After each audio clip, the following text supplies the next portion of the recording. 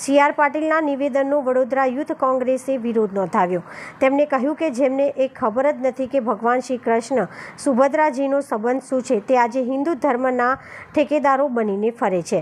પાટીલે ભગવાન શ્રી કૃષ્ણ અને સુભદ્રાજીને પતિ પત્ની બનાવીને ભાઈ બહેનના પવિત્ર સંબંધને લાંછન લગાડ્યું છે.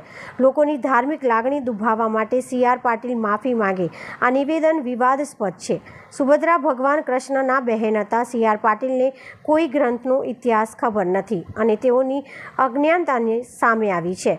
અત્રે ઉલ્લેખનીય છે કે કોંગ્રેસના આગેવાનો મનુભાઈ ટાવર સ્થિત ભાજપ કાર્યાલય ખાતે ગ્રંથ અને પુસ્તક અર્પણ કરવા જાય છે. તે અગાઉ સાજીગંજ પોલીસ વડોદરા શહેરે કોંગ્રેસ પ્રમુખ ઋત્વિજ જોશી સહિત પંદર જેટલા કોંગ્રેસ નેતાઓની અટકાયત કરી હતી.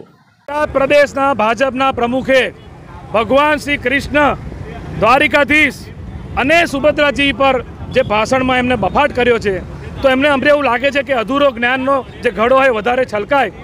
એ એમને પૂરું જ્ઞાન મળે, માટે એમને પ્રશિક્ષણ આપવા માટે. આ હિન્દુ આપણો જે મહાગ્રંથ છે, મહાભારત, એ અમે ભાજપના કાર્યાલય પર આપવા જઈ રહ્યા છે. કે તમારા પ્રદેશના પ્રમુખને મોકલાવો, સાચું જ્ઞાન આપો. સ્કૂલમાં ભણતા વિદ્યાર્થી, કોલેજમાં ભણતા વિદ્યાર્થીને પણ ખબર હોય છે કે સુભદ્રાજી અને કૃષ્ણ ભગવાન ભાઈ બહેન છે. તમને કેમ ખબર નથી? એક બાજુ સંસ્કૃતિની વાત કરો છો, હિન્દુ ધર્મની વાત કરો છો. શું આ હિન્દુ ધર્મ છે? જે ભગવાન કૃષ્ણ જેમને ગીતાનો ઉપદેશ આપ્યો છે. તમે ભાષણમાં કહો છો કે શાળાઓમાં ગીતાનો ઉપદેશ ભણાવવા જોઈએ. સારી વાત છે, પણ પહેલાં તમે તો ભણો. તમને જ જ્ઞાન નથી, તમને નોલેજ નથી, અને તમે બીજાને ભણાવવા નીકળ્યા છો. એટલે કોંગ્રેસ પાર્ટી ધર્મના રક્ષક તરીકે અમે એમને ભણાવવા નીકળીએ છીએ. અને અમે, હું ગુજરાત પ્રદેશ કોંગ્રેસનો ટ્રેનિંગ પ્રશિક્ષણ વિભાગનો પણ વડો છું. હું ગુજરાતના ભાજપના પ્રમુખને મફતમાં પ્રશિક્ષણ આપવા માંગુ છું.